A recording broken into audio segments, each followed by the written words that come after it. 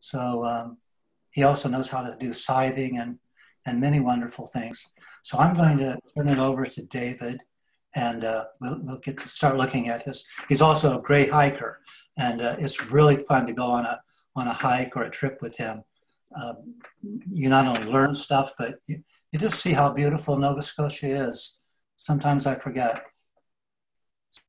Um, okay, well, thank you much very much for inviting me. It's um, I realize it's a big night, especially for people of origin from south of the border, even for us too.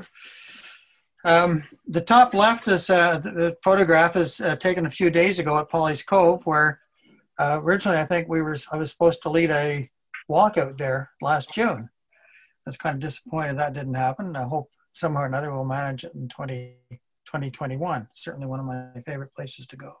To go. Okay. Well, my formal connections with the Rhodo Society go back basically to this presentation in 2013. but as Bob mentioned, our personal connections go, go back a bit further, especially to Bob. And hi also to uh, Sheila Stevenson and Susan too, because she's here, and Stephen Armstrong and others. And lots of people I think I know around there. Um, well, a very special event for me was the visit of Panayoti Kelaidis uh, in 2014, who's the, and he's um, curator at the Denver um, Botanical Gardens. And I was asked to show him the, um, the Purcell's Cove area barrens. And also I took him to Chebucto Head. So there's a couple of photographs from, from that time. And um, of course, as you know, he's domesticated many wild plants for horticultural, horticultural use. And, uh, you know, I read a lot about him and follow him and everything else. It's really stimulated me to think a lot more about the relationship of horticulture to conservation. So that, that's been very enlightening. I remember two things, especially about his impressions on that day. One was um, of Rhodora. It was his first encounter with Rhodora at the top left there, up here, which is, just, think, ending flower which is the most northern of the Eastern North America native azaleas. And in my mind, uh, by far the most beautiful. And he certainly um, was, was very enthralled with it. And then secondly was his comment on visiting this area of dwarf jack pine and broom crowberry and everything else on the um, in, in, the barrens behind Purcell's Cove.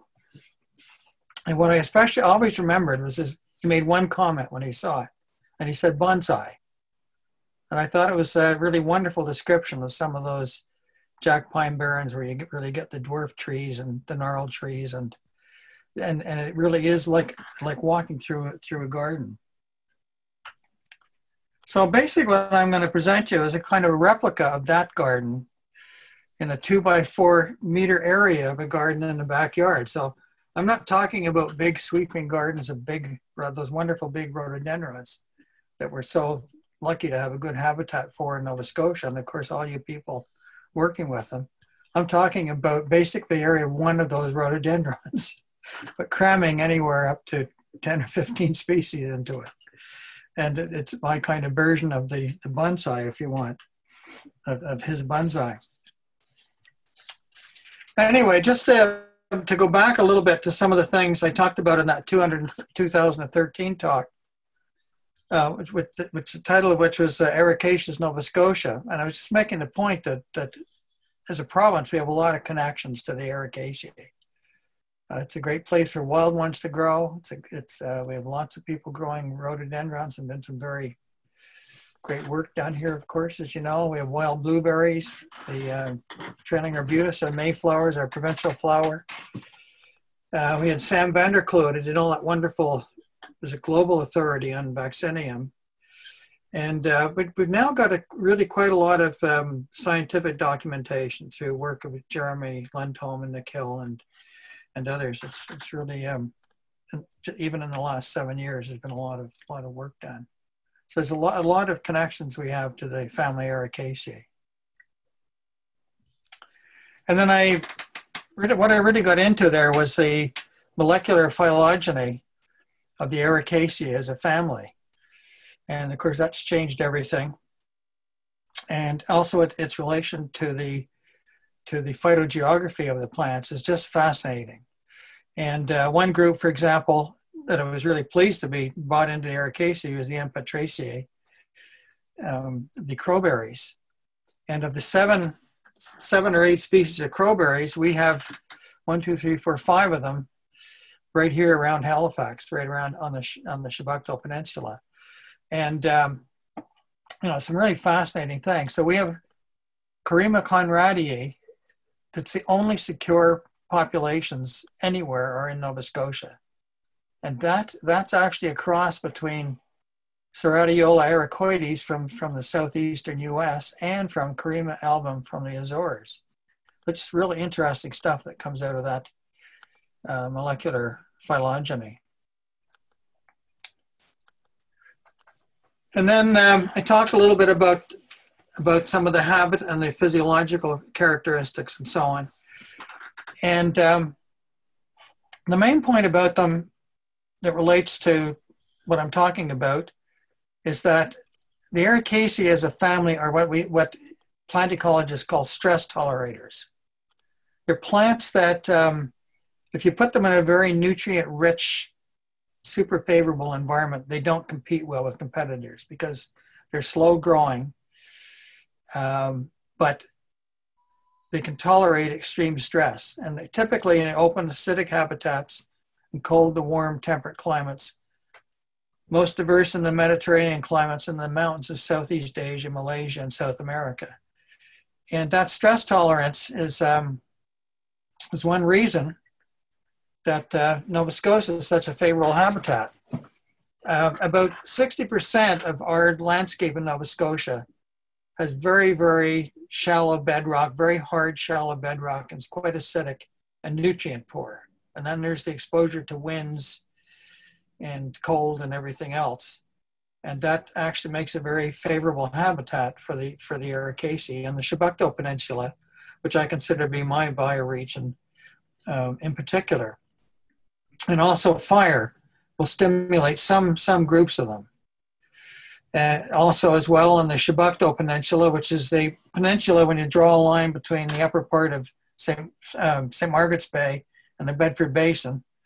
It's, that's the, this is the Chebucto Peninsula down here. It's now got a large percentage of protected areas. So it's, it's really a significant um, area. So a few examples, I gave examples of the um, some of the habitats and the species growing there. I'm just going to give two, an example of barrens and an example of bogs. So these are some what I call hinterland barrens near the coast.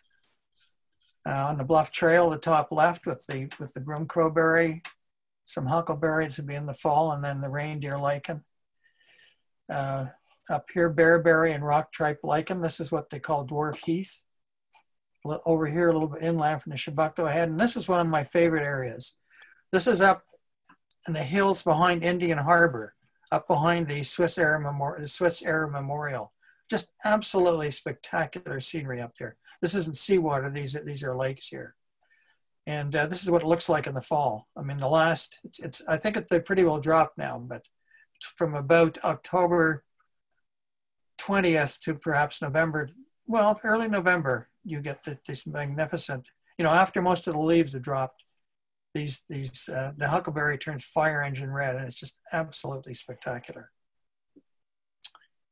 And then uh, bogs, the other type. Of course, Nova Scotia has a lot of bogs and fens. A fen is a, a bog is a, um, an area that, that's only rain fed and it doesn't have a, it doesn't have a flow through it. A fen will have a flow through it of some sort well, not necessarily through it, may, may be fed by springs, but then, there, then there's a, a stream exiting it, or it may, there may be a flow through it.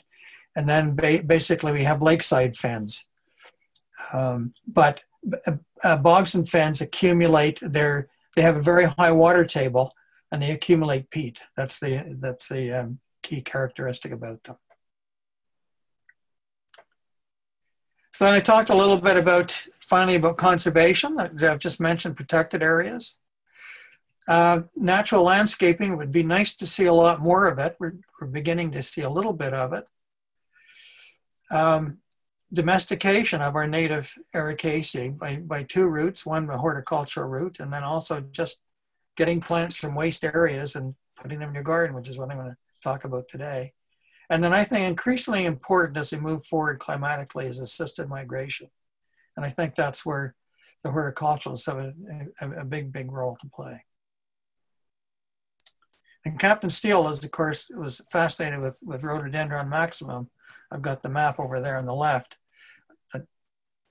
I, I, don't know if it's still controversial, if it was ever actually here or not. Um, anyway, just to um, I don't want to go into this a lot of detail, but I'm talking about barrens and bogs.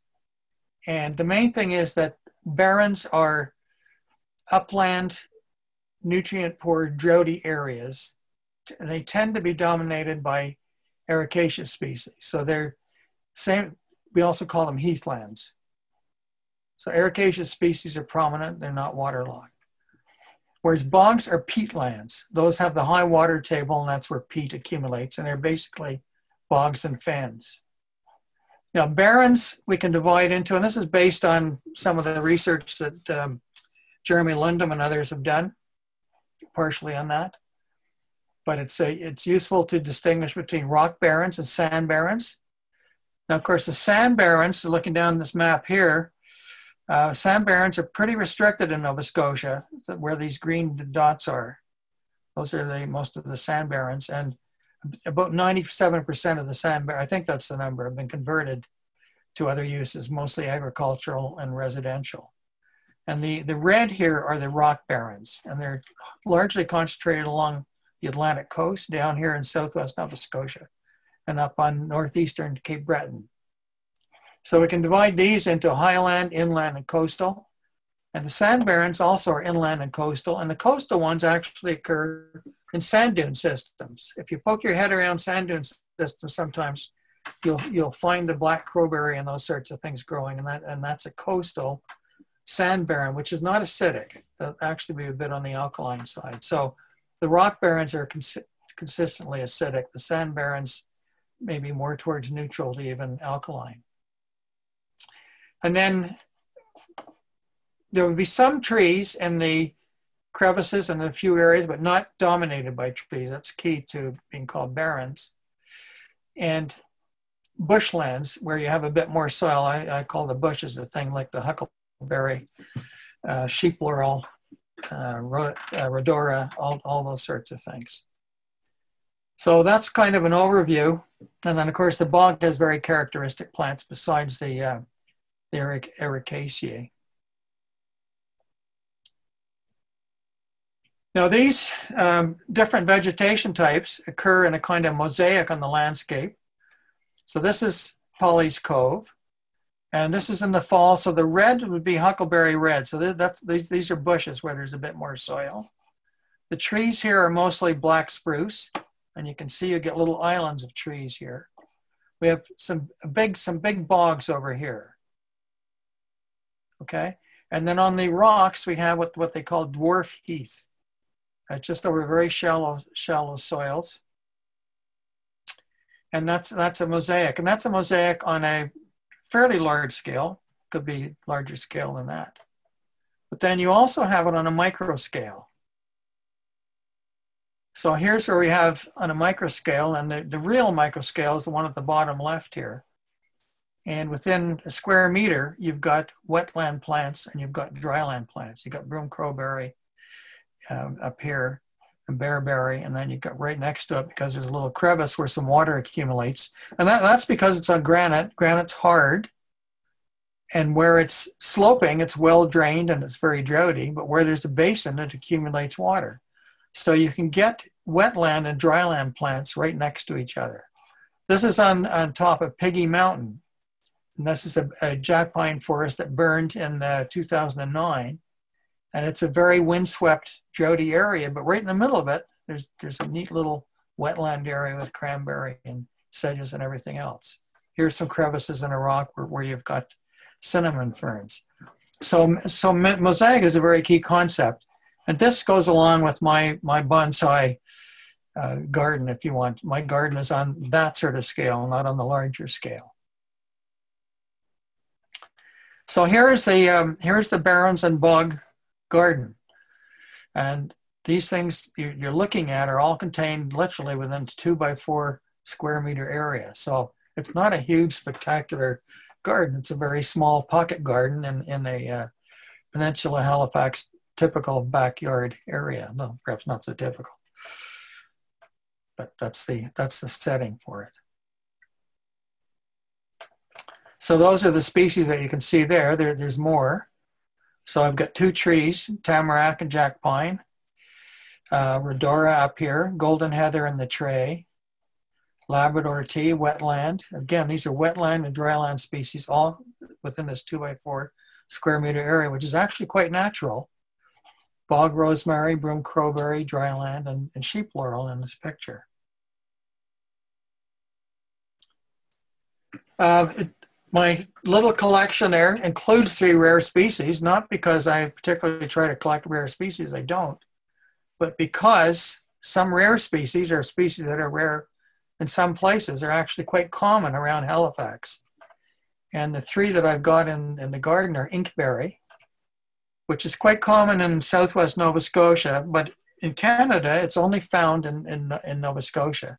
And th these are the um, these colors here are the uh, by by um, a, a, by jurisdiction are the uh, conservation status. So shows Quebec all yellow, but I mean it's only may only occur down here. And then the um, the blue colors are secure.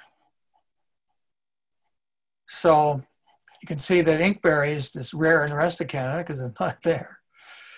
Um, rock rose, which occurs on the, on the sand barrens, is rare in Nova Scotia and not very, not very common otherwise. Broom crowberry is rare everywhere except in Nova Scotia. And then golden heather is also uh, is uh, said to be imperiled in Nova Scotia, but right now, because of the fire, the Spryfield fire, it's quite abundant around this area. And I have no problem taking a few plants and putting them in my uh, in my garden right now, even though it's rare. But as I said, I, I don't really set out to collect rare species, but as uh, the Lundholm group had documented, there's a number of rare species in our in our barrens, especially, uh, including mosses and lichens and and vascular plants, and also the insects and bees and all sorts of things. So these are they're very special environments. Well, so how do I get from um, from the barrens and the bog to the to the garden. And it all starts with a goutweed, believe it or not. Um, I'm sure some of you have goutweed around your gardens. This is on the Oaks in South End, Halifax, which was an estate that belonged to Stanfield for a long time, and he was a, a very good gardener apparently. And it's and there's still plantings around that he planted back in the 40s, I guess, that are still there because he situated them so well. Nobody takes care of them, but they're still, some of them are still there. A lot of them have been taken away in recent years, but there's still a number of them there. But anyway, in the in the um, in the woodlands around the oaks, there's goutweed, and it looks actually quite beautiful. And probably somebody brought goutweed deliberately into that habitat, uh, probably in the 1800s, as a ground cover in these these wooded kind of areas. So it's quite beautiful. But as in a lot of Halifax gardens, I have gout weeds on three sides of my garden. With my three neighbors, I have gout weed all along the border line. And basically, very, very hard to get rid of it. So I came up with a scheme um, which consists of making little garden beds separated by trenches. These trenches get dug out every year, and that's one way I try to isolate, stop the gout weed from moving moving into these raised garden beds, although I discovered that this, they will move in there by speed. So you, you can never really stop the stuff getting in. But having these trenches, now I'll show you how they're made in a minute, around the garden beds is key to controlling gout weed. And that's kind of what my beds look like. That was in the year 2000. So here's what's involved in the trenches. As in the fall time, this is in 2006 when I had some assistance from a, from a grandson. would, would dig out the trenches that received leaves in 2006, throw the rough compost on top of the garden beds for the fall. The finer stuff we put in barrels to use for uh, seed beds and fertilizer later. This is the coarser stuff. Some of this would go into the under the fall greens, and then add leaves to the trenches and, and take out the gout weed as, as you go along. So it's a method that um, I just devised by fooling around to control gout weed and also to build up the fertility in the garden uh, organically. And, and I, I, present this because it's pertinent to understanding what you have to do when you, when you bring ericaceous plants in because they don't like rich environments. And the soils here now are very, very rich, organically very rich because I've built them up over the years with this. So these are the uh, leaves in the fall of 2020. The Norway maple, which I don't like, but I will dig a trench, and it's amazing how much a, a six foot trench can absorb about five bags of leaves because you stick it in there and stand on it. And then I take out the gout weed as I go along. You see there's gout weed here, take the rhizomes out, and then fill it with the with the Norway maple. I like to keep it out of sight. And then I collect through the efforts of some neighbors, not too far away. I just I collect typically 50 bags of leaves a year, and I like elm and oak because they're dark and they have lots of tannins in them, and they make good compost and they look nice as a mulch. So some of them will go into these trenches, and some of them will go over here in these bins and, and be used the, the next year. And then in the summertime, I will add, I will add the um, the leaves, especially the elm leaves, to the alleys as a fresh mulch, uh, just to keep it looking nice. And to find that, you know, I can have lots of weeds and everything else in my gardens as long, as long as I have nice pathways and it gives it a sense of order and people don't notice all the other things going on in the garden and, and think it looks nice. But, but it's now, especially at this point, because I've I started doing this in the early 90s. So the garden is really built up with this organic compost. But but there's not excessive nutrients. It really, uh, it holds on to the nutrients. And I do do a few measurements on it to tell. Now, another feature I, I developed to deal with gout weed was that many plants I put in large buckets. Usually I cut the bottom off. And I put them there for one or both of two purposes. One is to keep the gout weed out or to keep the plant in.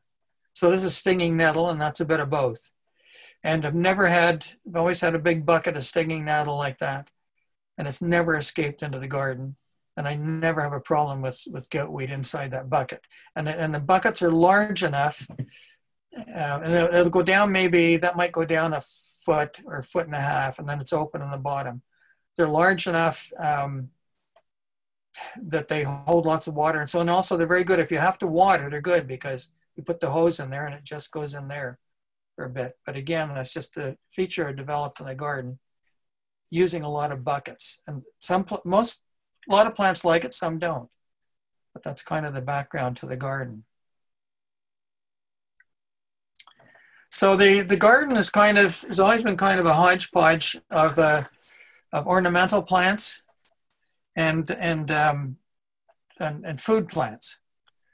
Um, and includes, anyway, get an idea from the, the picture that it's, it's a bit of a hodgepodge like that.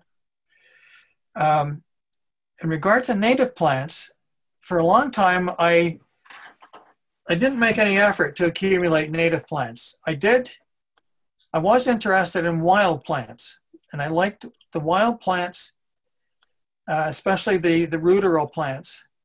The wild weedy plants I liked because they often I have attractive flowers like knapweed. I, I, love it. It attracts so many insects and it's quite a beautiful plant. Uh, I love wild mustard. I actually grow wild mustard in the garden because it uh, makes nice flowers in the springtime. It self seeds. And then I, I use the leaves as, um, you know, in salads and so on. And then I've experimented with, uh, you notice on those, those uh, raised garden beds are all stabilized by something growing on the sides of them. And uh, one of the things I really like is uh, evening primrose. The little garden variety is, is wonderful for it. There's a lot of different plants. And um, this one down here is a Veronica, a speedwell species. Really beautiful little flower, but And I bought it in my garden, started using it, and I soon regretted it because it got into my lawn and almost took over everything else. And then I, I don't have it anymore, but I haven't made too many mistakes like that. But I really, I, you know, I didn't, I wasn't really looking for native species. I did, I did introduce Iris versicolor in 1977. I've been in the house since 1975, and it's still in the same place. Uh, very robust plant, and it's still producing nice flowers like that. And I've put in stuff like goldenrod, so on, sort of on spur of the moment. Those are those are all those plants you see are plants that do well on that rich soil environment. So they're they're kind of welcome there. Then uh, native plants themselves really started to think more about native plants. For my first person to stimulate me to do that was Nick Hill, probably many many of you know. Nick, Nick and I have done many projects together, including Nick's PhD thesis. But anyway, Nick runs an operation called Fern Hill, and for a while he was propagating ferns uh, to take to market and so on. And Nick said, I had this dark kind of shaded alley beside the house. It was all full of hostas and said, oh, Dave, take out the hostas and put in ferns. And he gave me these, this lovely interrupted fern. And uh, I collected some others and I and that's now my fern alley. And again, those ferns, uh, if you grow them in the right light and moisture, they, they do they do fine in rich soil. So they're they're quite happy with my my leaf compost, and they're um, I do take the gout weed out around them, but they're they're very competitive with gout weed. And I have I think maybe eight or ten species of native ferns, in mostly in the shaded areas around the house. And then I put my my hostas out on the verge. I put my crap plants out on the verge because I never know how long the verge is going to last. Um, and then also Bill Freedman, the late Bill Freedman, and Mike McDonald, who had worked closely with Bill. Bill, probably you know, was a very prominent plant ecologist conservationist who died prematurely in 2015. So did Mike. And Bill had a street front garden with probably 75 or 80 species of na- native plants in it. And Bill would just bug me all the time. He says, I'm not interested in your ornamentals. I'm not interested in your food crops. I want to see the native species. So it just kind of bugged me a bit. And then um, I thought, well, I really should start to do this. And then I, I started to do more natural history around um, Halifax, and I got involved in studying the backlands. And then we had the Spryfield fire. And after the Spryfield fire, you know, everything burned down. Some really interesting things happened. And I collected a couple of couple of plants from that. And one of them was Rhodora, which came up in these single shoots. So the fire was in 2009, and it came up as these single shoots like that. Well, I dug one out with a part of a root system and took it to my garden. And then also there were all kinds of seedlings of jack pine. So I took some of those and took them to my garden and kept them in pots for a while. But then the thing that really stimulated me to get more serious about it was a trip to the Irving Botanical Gardens plant sale in 2011. I, I visited it once, but then I went to the plant sale in 2011, and they had all kinds of seedlings of, of native plants that they had raised from seed from plants collected on their property. And of course, they have their, their theme gardens. I'm sure you've all seen them and that started me thinking me me thinking about theme gardens and so I, I, purchased a bunch of these plants and these are the ones i purchased that year. These top six are all plants that do well in calcareous lands. And these two are ones that are more in the bog and barren area. So that's what i came out of there with in 2011 and that was the start of some of my gardening. And i thought well i've, I've got to make a gypsum garden and I've got to make a Bog and Barren garden to accommodate these things just like Irving Botanical Gardens does. So that's what I set out to do. So for my gypsum garden, I dug a hole about a foot and a half deep like that. And I put a tarp in it um, to restrict drainage. It's not, it's not trying to be watertight, it's just to restrict drainage, so it's kind of swampy. And then I put those lovely plants from the Irving Botanical, and, and I put and put the soil back in, which is already my leaf compost soil. I put that back in, added a lot of granular gypsum to it, uh, to, to add the calcium. And then grew the Irving plants and they just did absolutely wonderfully. That's what they looked like. So we have here the um, oh, Caltha palustris, I can't remember the common name of it, marsh, marsh marigold, I think. The Canada anemone grows like a weed. It actually grows out into my lawn. And I let it grow in the lawn. And then I mow it and it'll come back the next year. And then and, and swamp milkweed, lobelia, cut leaf coneflower. I had turtlehead and a few other things. And so again, those, those plants all do well in a rich environment with some calcium added to them. And then some restricted drainage to, to encourage it to hold water a little bit was the key there. And that was quite quite predictable. But then, and I was accumulating these plants from the bogs and barrens, but trying to figure out how what I'm going to do with them. And because they need these more acidic conditions, they, they need nutrient poor conditions, not nutrient rich conditions. I was keeping them in pots and trays and so on until I could figure out uh, what, what to do with them. So, so, these are some of the ones I had. There's the jack pine seedling down there uh, sheep laurel was actually I, I, got from a plant I just pulled out of the ground in the in the woods in South End, Halifax. A beautiful, beautiful, beautiful plant. Tamarack I can't remember where I got from. I think bayberry I got from Nick, and the bearberry came from um, came from um, the Irving Gardens. Cinnamon fern, I don't. I, I think I got cinnamon fern just from Native Habitat. But they sat in these buckets and things and my problem was I wanted to put them next to the, in another garden next to the gypsum garden along the fence. But when I got into it, I discovered that two things. I had quite a bit of protruding bedrock, and I had to use a pickaxe to dig holes in it. And it also had a lot of coal ash, because in the old days when they used coal, they threw the ash in the backyard. And of course, the coal ash is alkaline. So I had a problem. I was going to get these darn plants in there. Um, so again, they sat there like that for a year. And then I started to work on it the next year. And what I did was I put, I put them in larger containers, some with the bottoms on but holes in to restrict drainage, some not, some in shallow containers. And all of them I put in a mixture of three parts of peat and one part of my rich garden soil to make it make it acidic. And then I managed to pickaxe holes in the soil, get enough of the rocks and so on to insert these into this, because I, I basically had nowhere else to grow them. Because I needed a relatively sunny location for them, because the bogs and barrens are mostly well exposed. Um, so these are some of the plants that I had in, uh, in 2012, in August 21st, 2012, in my little two by four area. And this is what it looked like. This is what it looked like from a side view in August 9th, 2012. So my gypsum garden over here, my bog and barren garden, my little mini garden over here.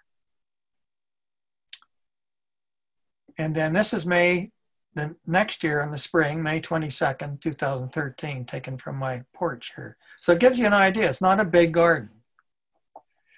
And um, that's that's that's what it that's how it started. And I can tell you that these two gardens have been the easiest to maintain in my in my whole garden. They're the ones that do the best. And absolutely, the bog and barren garden is the least trouble and looks the best most of the time. I have the least trouble with goutweed. Um, even if I don't water it regularly, they're stress tolerators and they don't seem to mind. And they just seem to thrive, thrive in these bucket systems that I have on the corner of the garden. So here it is, I think, yeah, this is actually this fall. So look how that tamarack has grown up there. It's now about 25 feet high. The jack pine, I actually chopped it off because it was getting too tall quite a long time ago. Actually, the tamarack, it had grown up and a tree on the other side of the property fell down and broke it off. Broke it off about down here and then it grew up as three uh, branches grew up from that. It was very, very beautiful. People come and they thought it was some kind of exotic uh, horticultural specialty. Um, and then finally this summer I decided, well, it needs to go back to one. And so there it is. And it's high enough that the birds actually land here and I have, I have a birdhouse on the veranda over here. Um, and that's the garden and it, it's a very stable garden and it always, always looks nice. Now I have one other theme garden that I've been developing, which is the woodland in front of the tall fence in the back of the property. So these are just some of the things I've got there. Uh, one of my prizes there is a witch hazel. That witch hazel I think I brought in from a small shrub around 2012. And of course it's flowering right now. And I have, striped maple here. And a, there was a big tree here. My idea, my idea was that these would be sub-canopy trees in here, but that tree fell down. It's the one that broke the tamarack. And so now the, now the striped maple is, shoot, is, is shooting up. I also have a, I also have a mountain maple and shadbush and, and mountain ash in there. And one point is that these, I don't have to worry about the gout weed. So they have gout weed around the base, but it doesn't bother them. They're competitive. I just cut it back. So that's not a problem there. So that that's my, so I have basically four kinds of theme native gardens I've been developing. And I, am going to, um, the next summer, try and develop some of the forest floor species back there. So now I've got it kind of established. So to get back to the um, bog and barren garden, I sent out this little table and I've divided the species up by sunlight, basically full sun, uh, shady or shade tolerant, and more shade only mountain laurel, and that, that comes from uh, Massachusetts. This really, really likes a lot of shade. And then in this direction is uh, going from wet to dry. And these are the species I, I've had, have or had, or a couple of them I've moved out uh, that I've maintained for some time in my, my bog and barren garden. And as I said, I use a standard soil mix here. So these ones, the wet ones are in containers with restricted drainage or no drainage or in a, in a low spot if I have one that I can put lots of peat into. The drier plants are either open bottom containers or none, depending on what I'm able to get there. And then droughty ones over or either on thin soil over bedrock or they're, they're in, uh, it can just be on the surface or they're in shallow drained trays. And that's the, um, that's how I manage those species. So this, this shows you some of the, um, uh, the trays and containers and so on. So the, the jack pine is in a 15 inch wide uh, pot, large pot. It's open in the bottom. Tamarack's only 12 inches wide, if you can believe it. And it, look how tall it grows up here. Here's the birdhouse. I call this the most beautiful birdhouse in the world. It was built from uh, driftwood in the Bay of Fundy by my cousin. And the birds land here and go over there. And that, that tree has shot up there in the last three or four years.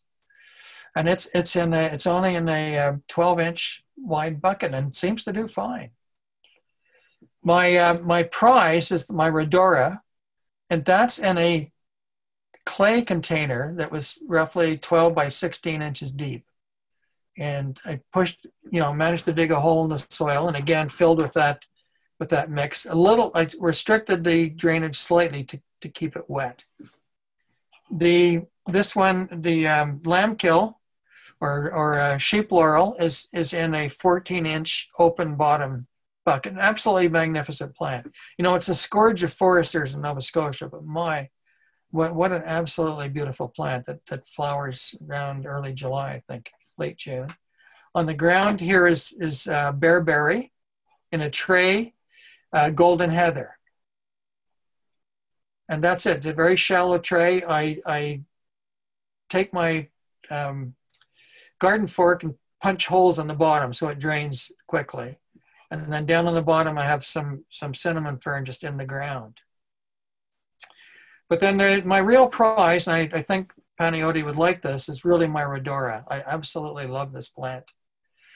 Uh, it's such a beautiful plant. And on the left here shows you, it, it, this is up in the, by the Mersey Chalets, I think this is, um, and that, those are flowers, of course, we're all familiar with, but then the leaves are also, they, they, they, it can go through this pastel pink stage in the fall and just be absolutely magnificent.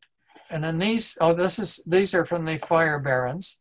And all of these pictures are in my garden. So I can enjoy all the aspects of this magnificent plant. And this is the plant in 2016 that started off from one shoot and produced all of those flowers. And, and the buds in the spring are so beautiful. Just absolutely magnificent plant. And, and seems to thrive. I just absolutely have no problem with it. And it's flowered, I think, the first time in 2013. It's flowered every year since.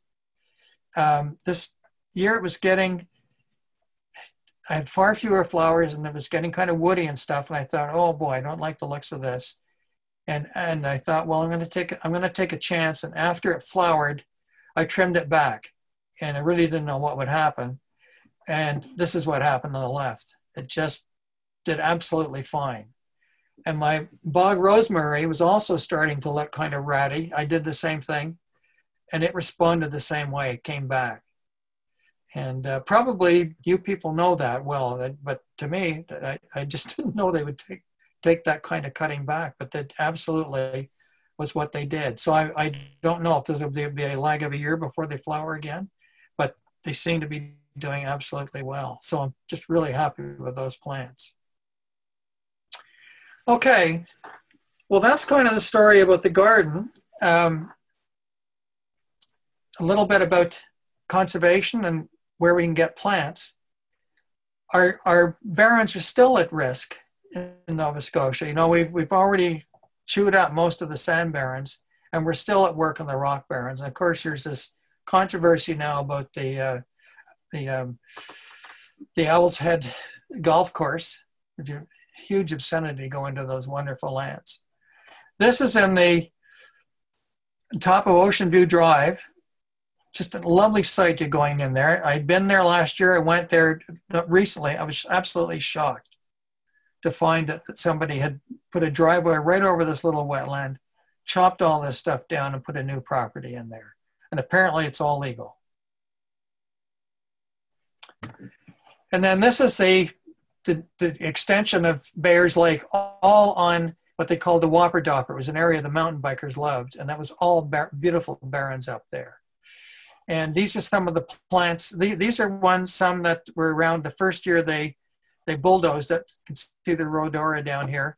This, I went there recently and found some areas with broom crowberry and lichens and so on. And of course I took some. And there's my tray I took from directly from that just this late this summer with broom crowberry and, and some reindeer lichens and so on. This is Governor Brook over here where they completely pulverized a barren to, to make housing developments. So that's what we're dealing with. Now, I don't really have any illusions that my little four by six garden is going to conserve very much of that. Obviously, that's not the answer, but but but at least I think that if we're going to beat these areas up, we should make them accessible to the public. We should advertise them and make them accessible to the public for a period to go in and remove native plants. I can't see why any downside to doing that. And that would at least encourage people to take an interest in these areas and maybe stop them being destroyed so quickly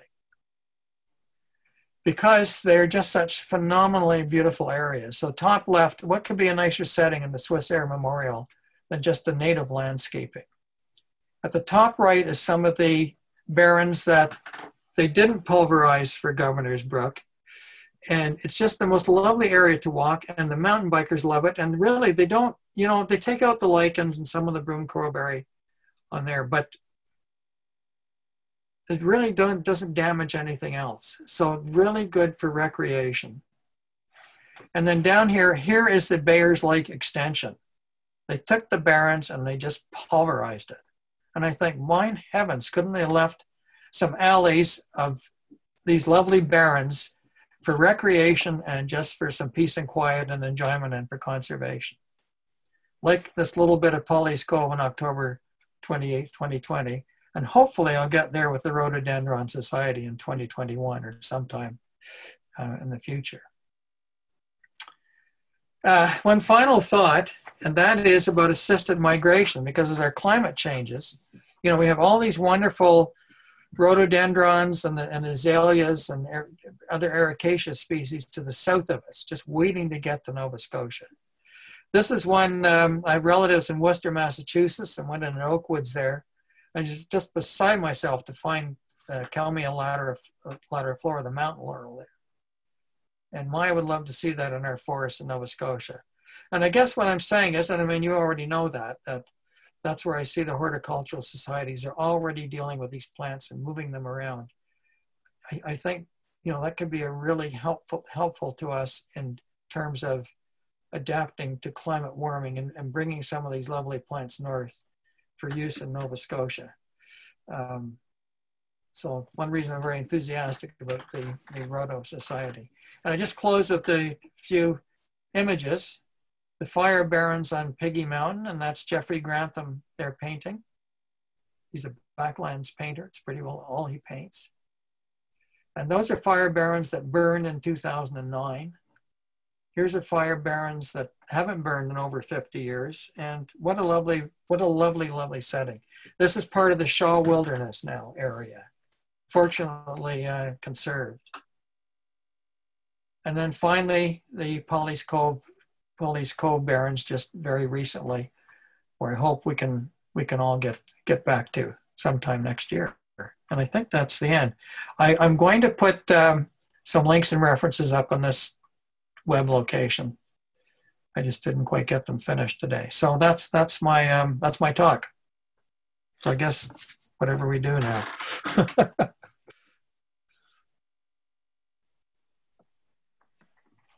There we go.